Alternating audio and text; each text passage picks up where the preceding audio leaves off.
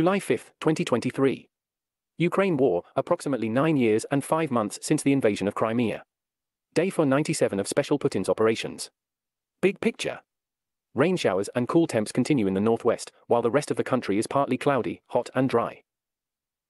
Ukraine's efforts near Bakhmut have moved the combat line a significant distance in the last week, after weeks of preparation and constant assaults. Dnieper line. Local government agencies are thankful to the international community and Kiev for assistance in creating water access for residents. Water storage facilities are being created to give potable water in the event of power loss.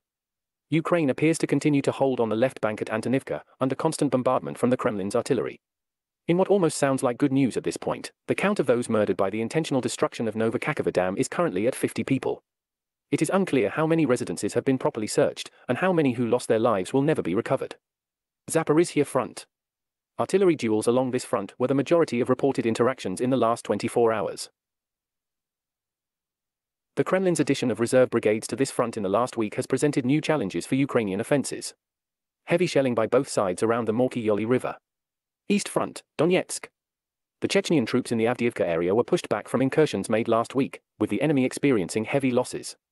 Heavy shelling by both sides continues, and Ukraine destroyed two major storage depots in Donetsk. Bakhmut area.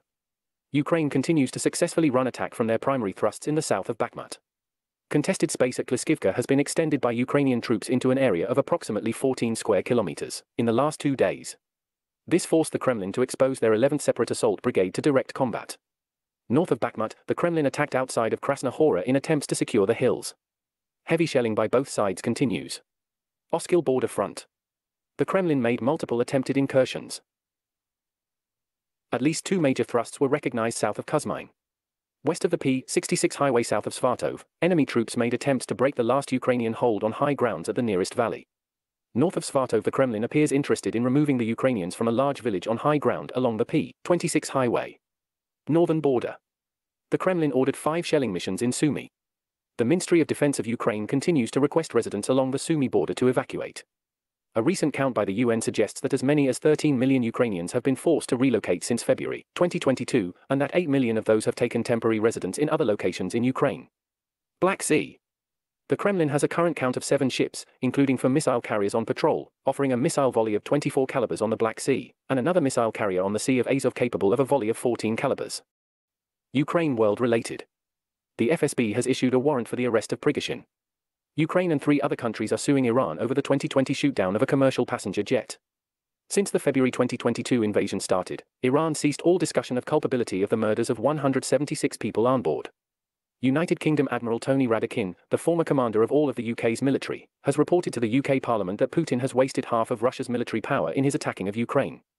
Discussions on the purchase or provision of 1980s era FA-18B from Australia continue. The FA-18B is a very reliable twin-engine two-seat supersonic plane designed as a multi-role attacking fighter bomber, specifically created to be a first-wave attacker. The plane is capable of carrying 10 AIM-120 missiles per sortie. The craft in question were built specifically in Australia to be land-based, but due to their age were built without stealth capability and will light up on modern enemy radar like a Christmas tree. Updates provided since production are unknown, but could make them highly formidable aircraft. We aim to bring more.